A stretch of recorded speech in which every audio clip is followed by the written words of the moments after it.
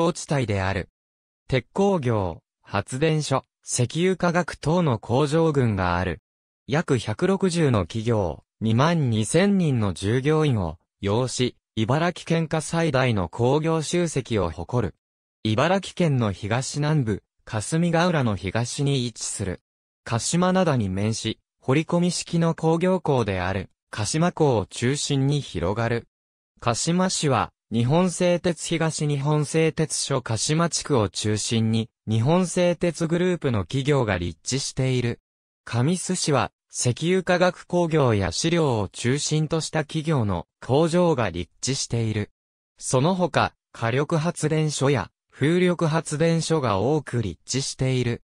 鉄道では、貨物船の鹿島臨海鉄道鹿島臨港線が通っており、JR 東日本鹿島線の鹿島、サッカースタジアム駅と接続する。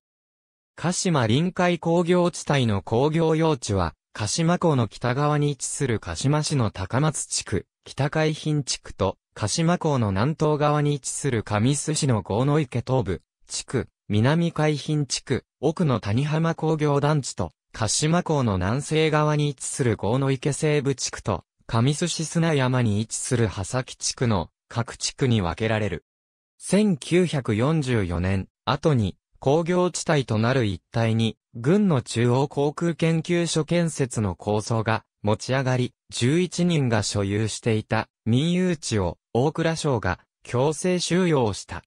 研究所は建設されないまま、戦後、土地は大蔵省から上須村国際電電株式会社へ払い下げられている。1959年、茨城県知事に当選した岩上二郎は、政策目標に、更新県からの脱却を掲げ、とりあえず生産性の低い県内の砂丘地帯の農業所得を向上させ、さらに工場を誘致して、農外所得を加えることで、低迷にあえでいた、県民所得の増大を図った。県は、翌1960年に、工場誘致条例の制定、鹿島灘沿岸地域総合開発の構想を打ち出して、鹿島開発の試案がまとめられ、工場誘致に乗り出した。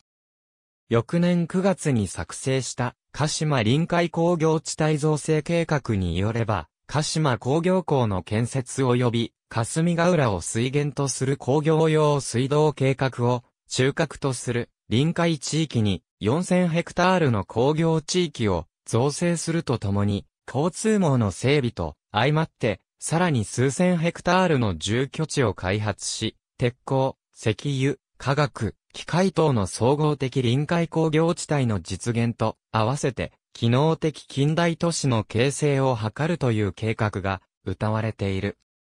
1963年には工業整備特別地域に指定され、その前年に策定された全国総合開発計画で謳われている拠点開発方式の実践として事業が進められ、30万人都市を新造するという国家プロジェクトによる巨大開発は、農耕良善、貧困からの解放をスローガンとして推進されていった。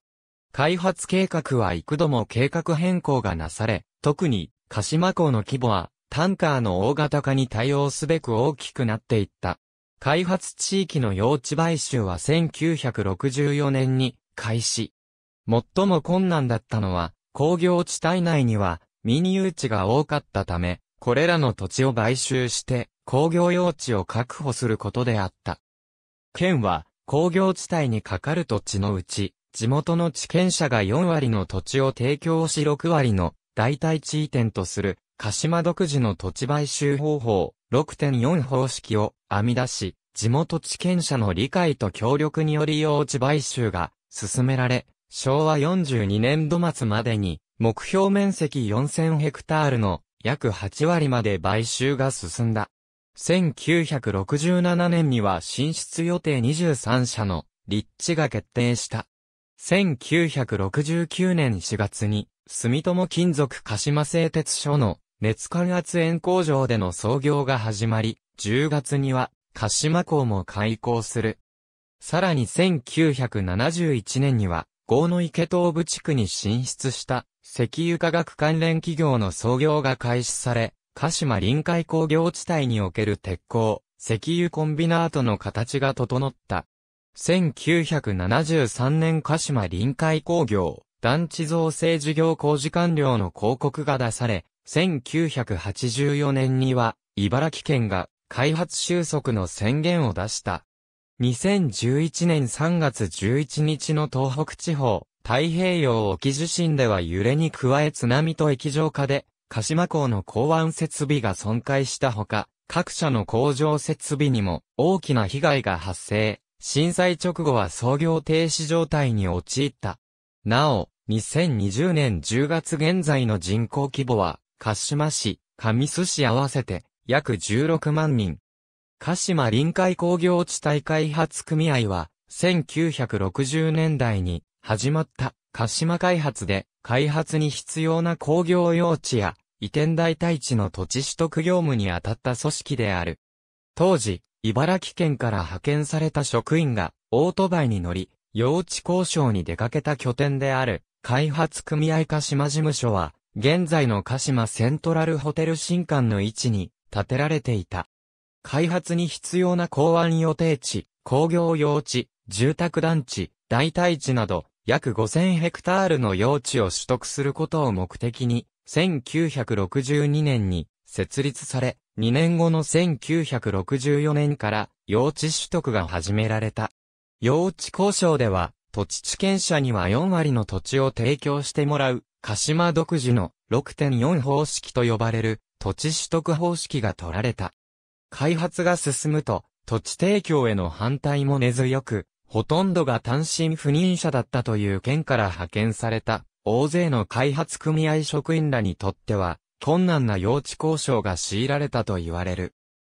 当時600人ほどが働いた開発組合は1984年に解散され、3階建てあった旧開発組合鹿島事務所は、用地関係の書類を保管する倉庫として一時使われたこともあったが、その後はほとんど使われることはなく、旧事務所や職員宿舎などがあった2万平方メートルの県あり地が茨城県や地元企業が出資する第三セクター会社の鹿島都市開発が計画した鹿島セントラルホテル新館の建設予定地として再利用されることとなり、1996年11月に旧事務所などが取り壊されて1997年2月には、更地となった。ありがとうございます。